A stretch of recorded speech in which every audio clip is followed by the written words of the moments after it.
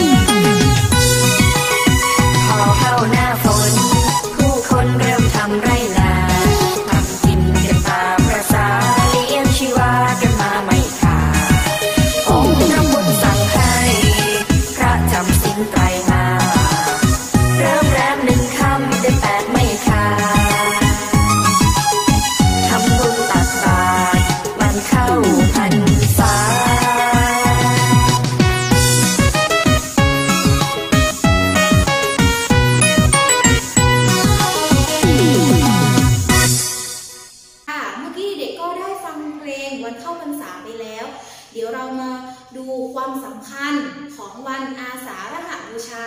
และวันเข้าพรรษากันก่อนนะคะค่ะ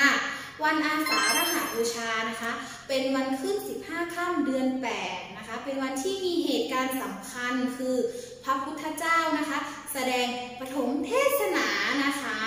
และเป็นวันที่ประกาศศาสนาเป็นครั้งแรกนะคะ มีพระรัตนตรัย รบสามองค์ คือ พระพุทธ พระธรรม พระสงฆ์นั่นเองค่ะ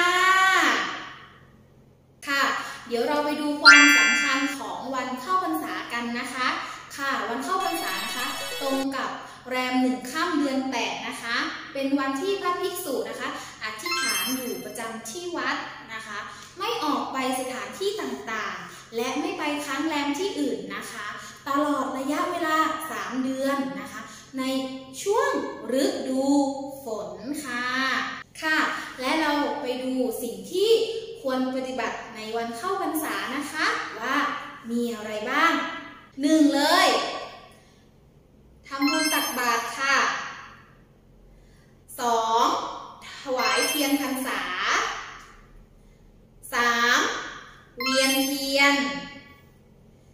4. แห่เทียนพรรษาค่ะ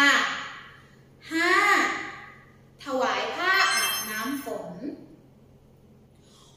6. ปล่อยนกปล่อยปลาเพื่อเป็นการสร้างบุญกุศลแก่ตัวเราและคนอื่นๆนะคะ ค่ะและครูฝ้ายก็ยังมีใบงานให้เด็กทำด้วยนะคะ ให้เด็กหยิบแบบฝึกหัดออนไลน์มาค่ะ